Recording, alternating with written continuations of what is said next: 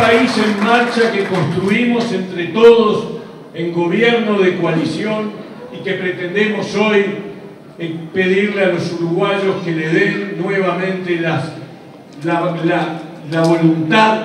para poder avanzar en dirección que tiene que ver con cosas muy importantes, todas ellas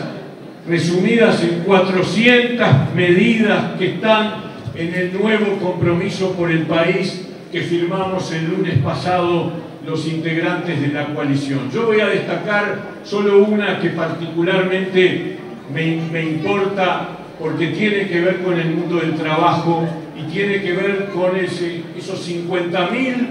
trabajadores por cuenta propia que el día que dejan de facturar no tienen cobertura porque no tienen seguro de paro ni subsidio por enfermedad. En este programa está el compromiso de la coalición de que esos trabajadores cuando tengan la caída de su facturación van a tener cobertura similar a la que tienen los trabajadores dependientes. El compromiso es la reducción de la pobreza infantil, que lamentablemente en el Uruguay desde hace mucho tiempo, no de este gobierno ni de los anteriores, desde hace mucho tiempo es el doble entre los niños que entre el conjunto de la población. Nuestro compromiso es que vamos a reducir la pobreza infantil apostando a los hogares que mayoritariamente son madres solas criando hijos. Vamos a trabajar para generar las condiciones